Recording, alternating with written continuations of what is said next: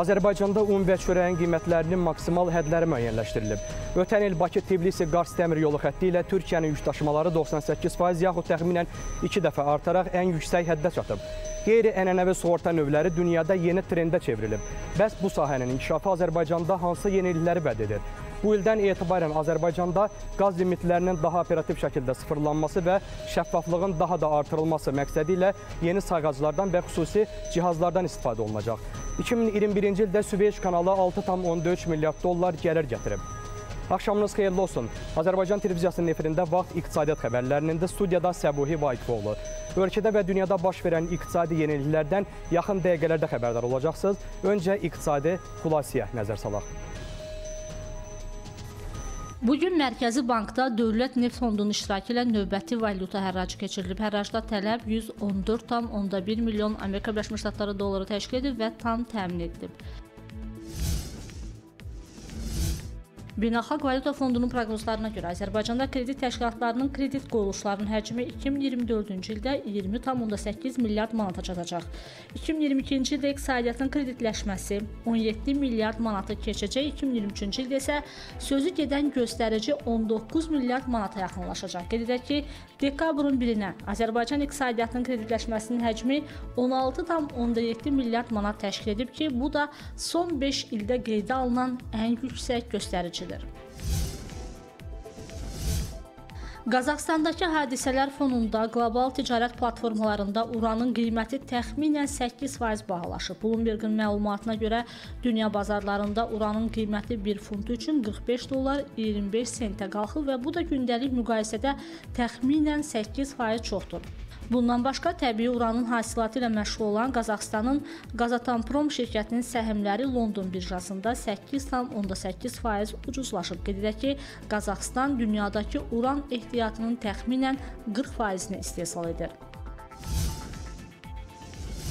Dünyanın aparıcı kriptovalyutası Bitcoin-in qiyməti 44 min Amerika Birləşmiş Ştatları dollarından aşağı düşüb. Kriptovalyuta son 24 saat ərzində 6,79% ucuzlaşaraq 43,7 min dollara satılıb. Nəticədə onun kapitallaşması 816,29 milyard dollar həddində qərarlaşıb. Avropada təbii qazın qiyməti 1100 dollar həddini keçib. London birjalarında qazın fevral füçersləri əvvəlcə 1000 kub metr üçün 1140 Amerika Birləşmiş Ştatları dollarından yuxarı olsa da, sonradan 1100 dollara qədər azalıb. Xatırladaq ki, dekabrın 21-də 2190 dollarlıq tarixi maksimuma çatan qaz qiymətləri sonrakı günlərdə əks təsirlə azalaraq ilin son günü 800 dollardan da aşağı düşmüşdü. Səudiyyə Ərəbistanının Saudi Aramco Milli Neft Qaz şirkəti Asiyadan olan alıcılar üçün fevral ayı üzrə bütün neft markaları üçün qiymətlər azaldıb. Bloomberg agentliyinin yaydığı məlumata görə şirkət gələn ay Arab Light markalı neftin qiymətini də Asiyadan olan alıcılar üçün 1 dollar 10 sent civarında azaldacaq. İqtisadiyyat xəbərlərinə baxırsınız. Azərbaycanda un və çörəyin qiymətinin maksimal hədləri müəyyənləşdirilib. Bununla bağlı İqtisadiyyat Nazirliyi yanında Antinizar və İstehlak Bazarına Nəzarət Dövlət Xidməti məlumat yayıb. Bəs ölkədə taxıl istehsalı ilə bağlı vəziyyət necədir? Ərzaqlıq buğdaya tələbatın neçə faizi daxili istehsal hesabına ödənilir? Əməkdaşımız Əli Rızayevin süjeti bu haqdadır. İzləyək. Ölkədə çörək və un məhsullarının satış qiymətlərinin yuxarı həddi müəyyən edilib. Belə ki, 50 kiloqramlıq bir kisə unun topdan satış qiyməti 35 manat 90 qəpik, 500 qramlıq ənənəvi dairəvi çörəyin pərakəndə satış qiyməti 50 qəpik həddində təyin edilib. 650 qramlıq ənənəvi dairəvi çörəyin pərakəndə satış qiyməti isə 65 qəpiyə reallaşdırılacaq. İqtisadiyyat Nazirliyi yanında anti-insar və istehlak bazarına nəzarət dövlət xidmətinin yaydığı məlumatda bildirilir ki, müəyyən edilən satış qiymətləri, idxal qiymətləri və emal xərcləri nəzərdə nəzərə alınmaqla hazırda bu məhsula real qiymət formalaşmış un və çörək istehsalçıları ilə müzakirələr nəticəsində qərarlaşdırılıb. Dövlət xidməti qiymət tədbirlərinə əməl olunması üzrə ciddi nəzarət tədbirlərini davam etdirir. Ümumilikdə isə ilk günləri monitorinqlərinin nəticələrinə əsasən unun topdan satış qiyməti 35 manat 40 qəpik və ya 35 manat 90 qəpik arasında dəyişir. Hazırda dövlət xidməti un istehsalçılarının topdan satış mərkəzləri və məntəqələri, iş vaxtları və topdan satış qiymətlərinə dair mütəmadi şəkildə yenilənəcək məlumat bazası planlaması hazırlayır və bu istiqamətdə aparılan işlər ictimaiyyətə açıqlanacaq. İstehlakçılar un və çörək bazarında qiymət manipulyasiyası halları ilə rastlaşdıqda, həmçinin əlaqəli məlumat almaq məqsədi ilə dövlət xidmətinə 012 599 76 00 nömrəli telefon nömrəsi ilə müraciət edə bilərlər. Ekspertlər isə bildirir ki, qiymət artımı beynəlxalq taxıl bazarı ilə birbaşa əlaqəlidir. Çünki son illərdə dünya taxıl bazarında buğdanın qiyməti ciddi şəkildə sürətlə artır. Beynəlxalq buğda bazarında oxşar vəziyyət sonuncu dəfə 2008-ci ilin qlobal maliyyə böhranı zamanı müşahidə olunub. O zaman da taxılın 1 tonunun qiyməti 300-350 dolları keçərək qısa müddətli olsa da 400 dollara yaxınlaşmışdı. Nəzərə alsaq ki, pandemiya dövründə də qlobal buğda böhranı yaşanır. Bunun əsas səbəbi ABŞ, Rusiya, Avstraliya, Kanada və Avropa İttifaqının bir sıra ölkələridir ki, məhz onlar qlobal taxıl bazarının konjunkturunu formalaşdırır. Pandemiyanın tüğyan etdiyi müddətdə bir sıra ölkələr inanılmaz dərəcədə taxıl ehtiyatı yaradaraq anbarlara toplayıb. Üstəlik taxıl ixracına yüksək əlavə dəyər vergisi tətbiq edilib. Buna da əlavə elə ki, daşıma, hansı ki, dünya ticarətinin 80%-i okean üzərindən gedir. Daşıma qiymətləri elə pandemiyanın təchizat zəncirində yaratdığı problemlər səbəbindən 5 dəfəyə qədər bahalaşdı. Bütün bunlar təbii ki, gətirib e, öz nəticəsini taxıl qiymətlərində göstərib. E, son pandemiya 2019-cu ilə müqayisədə 60% bahalaşma var. Ümumiyyətlə, indiki qiymətləri 2011-ci ilin pik qiymətləri ilə, rekord qiymətləri ilə müqayisə olunur. Yəni, e, tarixin ən yüksək qiymətləri ilə rastlaşmışıq. Yəni, səbəblər budur. Azərbaycanın buğda tələbatı təxminən 3,1 milyon tondur. Ölkənin buğda ilə özünü təminat səviyyəsi 57,10%-ə çatır, hansı ki, müstəqilliyin ilk illərində bu faiz nisbəti 30%-ə bərabər idi. Ölkədə orta hesabla hər il 650 min hektar sahədə buğda əkilir, məhsuldarlıq təxminən 31,4 sentnerə bərabərdir. Son illərdə zəmilərdən hər mövsüm 3 milyon tona qədər taxıl biçilsə də, bunun 2 milyon tona yaxını buğdadır. Hər il 1 milyon 300 min, 1 milyon 400 min ton həcmində buğda idxalına ehtiyac yaranır. Başqa sözlə, ölkənin buğda idxalından asılılıq səviyyəsi səviyyəsi 42,90% nisbətindədir. İdxal edilən buğdanın böyük həcmi un istehsalında istifadə edilən ərzaqlıq buğdadır. Azərbaycanın buğda idxal etdiyi əsas ölkələr isə Rusiya, Qazaxstan və Ukraynadır. Dövlət ərzaq təhlükəsizliyinin təminatı ilə bağlı subsidiyalaşdırma yolu ilə taxıl əkinini stimullaşdırır. Ötən təsərrüfat ilində, yəni 2021-ci ildə hardasa 1 e, milyon hektara yaxın sahədə taxıl əkini aparılıbdır. Eyni zamanda bundan 572 min hektarı buğda sahəsi olubdur. Ondan da 1 milyon 885 min e, ton e, taxıl istehsal, buğda istehsal olunubdur. E, eyni zamanda arpa istehsalı həyata keçirilir və burada əsas məqsəd odur ki, biz əkin sahələrindən maksimum səviyyədə yüksək və keyfiyyətli məhsul əldə etməyə nail olaq. Statistik göstəricilərə əsasən Azərbaycana 2020-ci ilin 11 ayı ərzində 262 milyon 497 min dollar dəyərində 1 milyon 225 min 586 ton həcmində buğda idxal edilib. 1 ton buğdanın orta idxal qiyməti 214 dollara bərabər olub. Ötən ilin 11 ayında isə 287 milyon 557 min dollar dəyərində 1 milyon 17 min 503 ton buğda alınıb. 1 ton buğdanın orta idxal qiyməti 283 dollar təşkil edib. Beləliklə son 1 ildə buğdanın idxal qiyməti təxminən 70 dollar artıb. Əli Rzayev, Lalə Məmmədova, İqtisadiyyat xəbərləri. Yeri gəlmişkən dünyada ərzaq qiymətləri 10 illik maksimuma çatıb. Bu açıqlamanı BMT-nin Ərzaq və Kənd Təsərrüfatı Təşkilatı FAO edib. Qurumdan bildirilib ki, 2021-ci ilin dekabr ayında ərzaq qiyməti indeksi 2020-ci ilin eyni dövrü ilə müqayisədə 23,1% artaraq 133,7 bəndə çatıb. FAO-nun orta illik ərzaq qiyməti indeksi isə ötən il 125,7 bənd, yəni 28,1% artıb. Bu da son 10 ildə qeydə alınan ən yüksək orta illik göstəricidir. İqtisadiyyat xəbərlərinə baxırsınız. Bakı-Tbilisi-Qars dəmir yolu xəttinin istifadəyə verilməsi sayəsində Çin və Avropa arasında dəmir yolu yük daşımalarında orta dəhlizdən səmərəli istifadə etmək mümkün olub. Bunu Türkiyənin Nəqliyyat və İnfrastruktur naziri Adil Karesmoyloğlu deyib. Onun sözlərinə görə Bakı-Tbilisi-Qars dəmir yolu xətti vasitəsilə indi Çindən Türkiyəyə 12 min kilometr uzunluğunda yolu 12 günə qət etmək olur.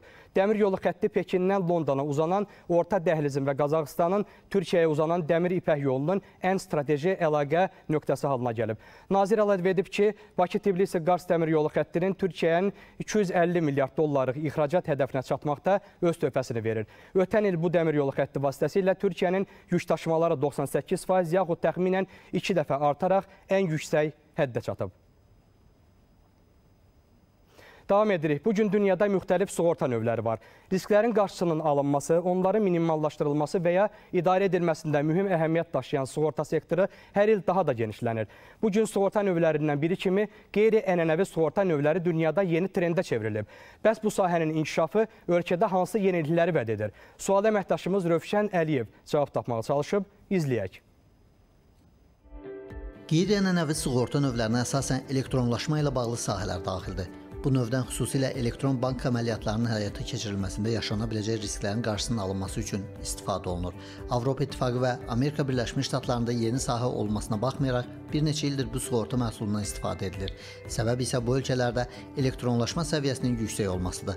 Son trendlərdən biri isə kriptovalyutalar, elektron cüzdanlar, poçt bağlamalarının sığortalanmasıdır. Azərbaycana gəlincə qeyri-ənənəvi sığorta növü son 3 ildə inkişaf etməyə başlayıb. Həm də bu təkcə bank maliyyə, elektron xidmətlər deyil, digər sahələrdə əhatə edib. Məsələn, Qeyri-ənənəvi sığorta növlərində də artım var. Mən konkret olaraq onu da sizə deyə bilərəm.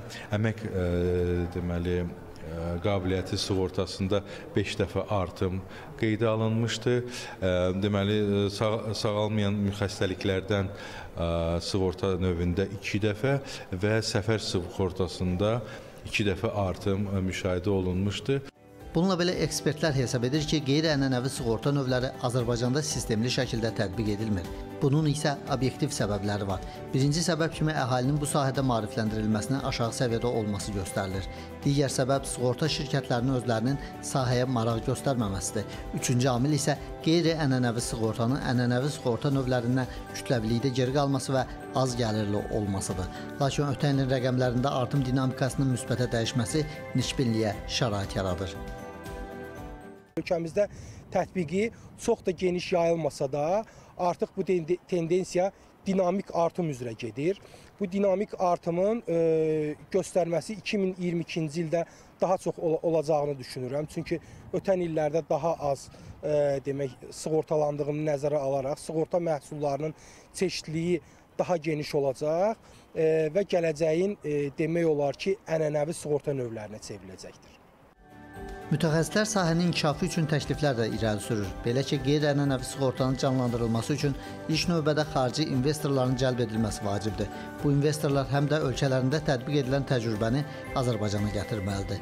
Bundan başqa bank sektorunda bu sığortanın inkişaf etdirilməsi üçün rəqabət mühiti yaradılmalı, müştərilərə əmanətləri, kassalarında olan məbləğləri, vəsaitlərin daşınması ilə bağlı müxtəlif təkliflər verilməlidir. Rövşən Əliyev, Zaur Bayramov, İqtisadiyyat xəbərləri. Azərbaycan Mərkəzi Bankı əhaliyə çağırış edib. Bildirilib ki, sosial şəbəkələrdə Azərbaycan Mərkəzi Bankının 2022-ci il üçün yeni il sorğusu məzmununda saxta məlumat və spam keçidlər yayılıb. Tənzimləyici qurumun açıqlamasında bildirilir ki, bu məlumatların Azərbaycan Mərkəzi Bankına heç bir aidiyyatı yoxdur. Davam edirik. Bu ildən etibarən qaz limitlərinin daha operativ şəkildə sıfırlanması, eləcə də şəffaflığın daha da artırılması məqsədi ilə yeni sayğaclardan və xüsusi cihazlardan istifadə olunacaq. Yeni sayğaclar ölkəmizdə istehsal ediləcək. Bu sayğaclar üçün artıq Azərqaz İstehsalat Birliyindən sifarişlər verilib. Cari ildən artıq biz 10 min sayğac sifariş eləmişik. O sayğaclara xüsusi cihazlar quraşdırılacaq və onunla üzərinə şəffaf qutular yerləşdiriləcək ki, nə abonentin ona müdaxilə imkanı olsun, nə də Azərqaz əməkdaşlarının ona müdaxilə imkanı olsun. Yəni bu cihaz imkan verəcək ki, əvvəlcədən abonentin sərfiyyətini biz görək, mərkəzləşdirilmiş qaydada, onun borcunu görək, borca görə dayanmaları həyata tətbiq eləyək. Yəni abonentlə birlik əməkdaşlarının kontaktını, əlaqəsini maksimum dərəcədə kəsməyə çalışırıq. Eyni zamanda bu cihaz imkan verəcək ki, daha mobil daha sürətli şəkildə növbəti ildə sıfırlanma prosesinin, tarif limitinin sıfırlanma prosesini həyata keçirək. Bu sifariş olunan sayğaclar Gəncə cihaz qarma e, zavoduna verilib, onlara yəni sifariş verilib. Almaniyanın e, çox məşhur bir şirkəti ilə bunlar müştərək olaraq həmin sayğacları istehsal edəcəklər. Burada məqsədimiz həm yerli sahibkarlığın stimullaşdırılmasıdır yerli sahibkarların daha dayanıqlı, daha mütəşəkkil formada çalışmasına nail olmaqdır. Eyni zamanda Azərqaz İstehsalat Birliyi bununla yanaşı həmin sayğacların müəyyən hissəsinin dövrü müddəti bitəndən sonra biz Gəncəyə göndərib yenidən onun istismara verilməsi, təmirinə filanından nail olacağıq. İqtisadiyyat xəbərlərinə baxırsınız. İtaliyalı məşhur futbol mütəxəssisi Fabio Capello vaksin olunmayan futbolçuların maaşının azaldılmasını təklif edib. O hesab edir ki, vaksindən imtina egoizmdir. Polis və həkimlər peyvənd olunubsa idmançılar da olunmalıdır. İtaliya A seriyasında oynayan komandaların heyətləri tam vaksinasiya olunub. Başlıca problem çox da tanınmayan klublarla bağlıdır.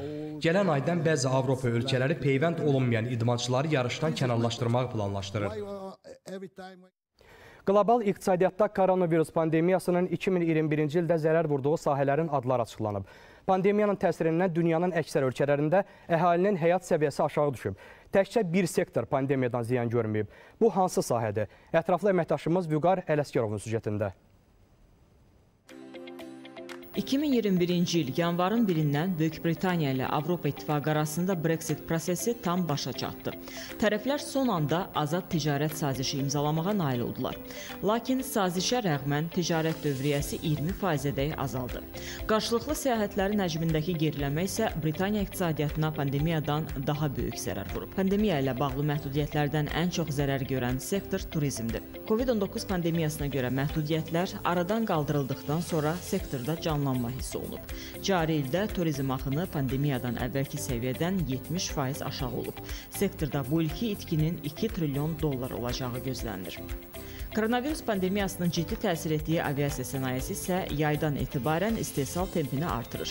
Böyük istehsalçılar köhnə sifarişləri təhvil verməyə çalışır. Bununla belə çox tutumlu təyyarələrə maraq azalıb. Lakin təyyarə istehsalındakı artım sərnişin daşımada hiss olunmur. Yayda baş verən canlanmadan sonra oktyabrda tənəzzül başladı. Dekabr ayında isə mikron ştamına görə hər gün minlərlə reys ləğv edilir. Tendensiyanın gələn ayda davam edəcəyi şübhəsizdir. BMT-nin hesabatına görə planetin planetin hər 29 sakinindən birinin humanitar yardım və dəstəyə ehtiyacı var. Səbəb davam edən hərbi münaqişələr, iqlim dəyişikliyi və COVID-19 pandemiyası göstərilir. Hesabatda qeyd olunur ki, 43 ölkədə 45 milyona yaxın insan aclıq problemi ilə özləşə bilər. Lakin pandemiyadan zərər çəkməyən bir sahə var ki, bu da silah ticarətidir. 2020-ci ildə qlobal iqtisadiyyatın 3% kiçilməsinə baxmayaraq, silah satışları 1,3% artıb. 2021-ci ilin statistikası hazır olmasa da, Qərb mətbuatı bu sahədə 6 illik artım tendensiyasının davam etdiyini bildirir. Vüqar Ələsgərov, Könül Məmmədova, İqtisadiyyat xəbərləri. Və sonda Dünyanın ən böyük nəqliyyat arteriyalarından olan Süveyş kanalının illik gəlirləri məlum olub. Statistika onu deməyə əsas verir ki, pandemiyaya rəğmən kanaldan əldə edilən gəlir artıb, yüklərin daşınması intensivləşib. 2021-ci ildə Süveyş kanalının gəlirləri 6,3 milyard dollara çatıb ki, bu da kanalın tarixində ən böyük rəqəmdir. Bu məlumatı kanalın administrasiyasının rəhbəri Usama Rabiya açıqlayıb. Onun sözlərinə görə ötən il kanalın tarixindəki rekord təzələnib. 2020-ci ildə müəssisənin gəliri 5,6 milyard dollar olduğu halda 2021-ci ildə bu rəqəm 12,8% artaraq 6,3 milyarda yüksəlib. Ötən il kanaldan keçən yüklərin də kütləsi 8 8% artaraq 1,27 milyard tona çatıb. İl ərzində kanaldan 20965 gəmi keçib. Halbuki bir il əvvəl bu rəqəm 18830 olmuşdu. 2021-ci il həm də kanalın tarixində ən böyük qəza ilə yadda qaldı. Martın 23-də Ever Given konteyner gəmisi saya oturaraq bütün yolu bağladı. 400 metrlik gəminin yoluna qoyulması üçün bir həftə vaxt lazım gəldi. Bu müddətdə kanalın hər iki tərəfində 400-dən çox gəminin tıxacı yarandı. Misir rəhbərliyi gəmi şirkətindən kompensasiya tələb etsə də, sonradan tərəflər razılığa gəldilər. Onlar gəminin xilas edilməsi üçün çəkilən xərci məxfiləşdirdilər. 1869-cu ildə istismara verilmiş Suveyş kanalı şürutsüz inşa edilib və istənilən tip gəmini qəbul edə bilir. Kanal Asiyadan Avropaya gedən gəmilərin yolunu 8000 kilometr qısaltmağa imkan verir. Kanal olmadığı müddətdə gəmilər Afrikadan dolanaraq keçirdilər. Kanalın 2015-ci ildə açılan yeni qolu sayəsində sutqa ərzində keçən gəmi sayını 49-dan 97-yə qaldırmaq mümkün olub. Misir hökuməti gələn il kanaldan 13 milyard dollar mənfəət əldə etmək istəyir. Vüqar Ələsgərov, Könül Məmmədova, İqtisadiyyat xəbərləri. Belə əziz tamaşaçılar, bugünlük bu qədər xəbərlərin əsas buraxılışını həmkarım Samirə Mustafayevanın təqdimatında izləyə bilərsiniz. Sağ olun, salamat qalın.